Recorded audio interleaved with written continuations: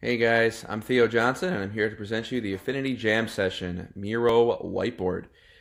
Okay, so there's a lot to this whiteboard. Uh, I'm going to zoom out here. So it looks complicated, but it's really not complicated. So I'm going to try to simplify this as easy as possible.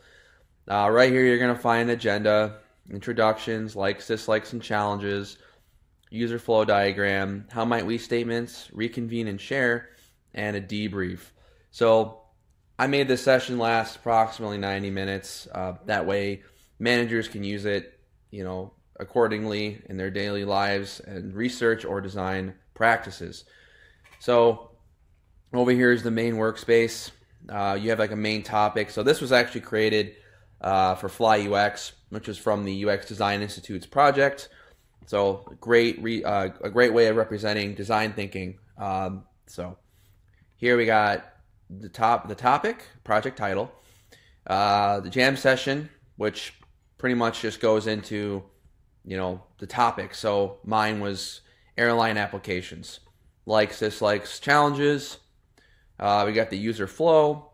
So for instance, the steps the user takes in booking a uh, flight through a mobile or desktop application, and then the how might we statements. I'll get into that in a little bit. And then obviously resources, which can be used at any time during the jam session. Okay, so getting more into Miro. All right, so we got the resources, right? So these can be used at any time, okay? So user needs, uh, visual design challenges, user survey notes. Obviously, anybody who does UX research or design knows that there is quantitative and qualitative surveys and lots of info we can get from our users. You know, we're building for the user. We're not building for us. We're building for the user. Uh, wants and needs, uh, thing like that. So you're gonna see this. For instance, I'll give you an example. Uh, the flight booking application, right? So why did people visit the airline task? Why did they do this? They wanted to book a flight. They wanted to cancel flight. This is all stuff that I made in using SurveyMonkey. So these are just you know questions I asked the users. Uh, what are some user needs? These can be from your usability testing notes, uh, you know, your video recordings, your user interviews, and so forth. Visual design challenges. These can be uh, can be from recordings and so forth, or just stuff people said in your surveys, and then just extra notes. So, and you know, feel free to take these and just expand them and put as many notes as you want. Okay, so the first step is getting into the likes, dislikes, and challenges you got your main topic. Uh, for me, I was doing the flight booking app, so I did a competitive benchmarking on JetBlue and Delta Airlines, and I wanted to look at the likes, dislikes, and challenges of each. Um, you know, from there, the, the team would get together. Uh, you know, they they put their own notes down. They bring them, I actually bring their notes to the Miro session. So this meeting, uh, I'd recommend having the users, you know, review the topic before they come to the Miro session that way they understand okay what are we doing today? It's not just well we're here you know i want you know wanted my the people to help that helped me on this bring their notes with them and be able to you know collaborate and share their ideas. Um, so here you would just you know work as a team and you put your stickies below here.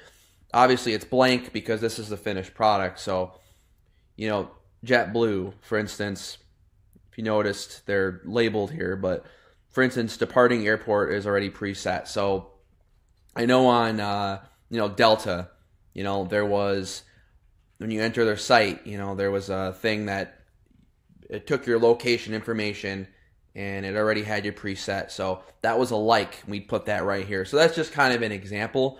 Um, the team would go around and do that. Uh, each person they would just put it in there. Uh, you know that took uh, was it 15 minutes? Just to double check. Uh, no, 20 minutes. 20 minutes. Okay. Uh, and then from there, we get into the user flow diagram. This would be the step by step process the user would go in booking the flight. It could be anything. It could be like, not it doesn't have to be a, a flight booking app. It can be uh, logging into my email. Like, I don't know. What do they do? They click, you know, username, password, you know, and then so there's like a bunch of different ways you can go about this, different tasks. Um, simply put, um, I had the team members. I had five members involved. We went around and did round robin format. So each person would have three to five sticky notes.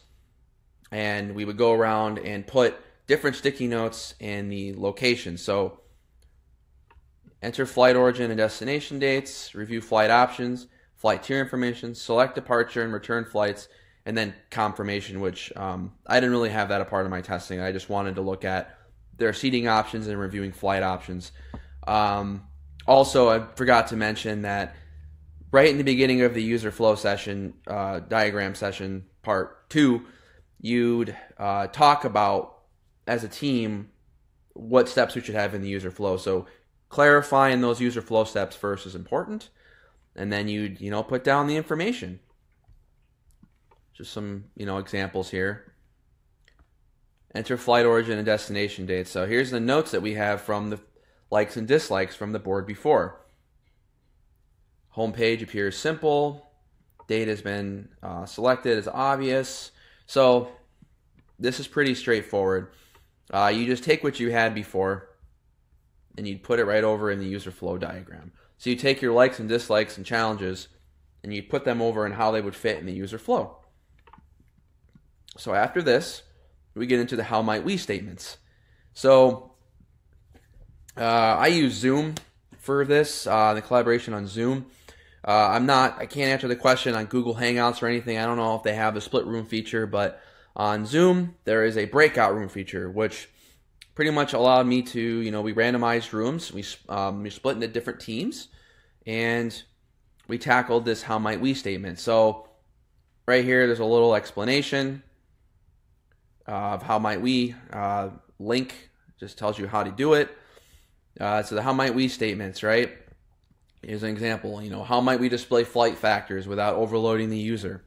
They're just design thinking ideas. Um, you don't necessarily have to use these ideas, but it's really good brainstorming exercise for the team. Um, so, for instance, the split room feature. I think we had two two of us in one room and then three of us in the other room. So, you know, two of us worked on this topic, and then the other two worked on these two and we came up with how might we statements. Simple as that. Um, and then, you know, actually after that, we would, you know, then again reconvene, meet up, uh, you know, talk about the debrief of the project, and then, yeah, that's pretty much it. Um, it looks complicated. I tried to simplify this as much as I could, but again, it's 20 minutes of the likes, dislikes, and challenges. You got your user flow diagram, uh, your how might we statements, reconvene and share in your debrief.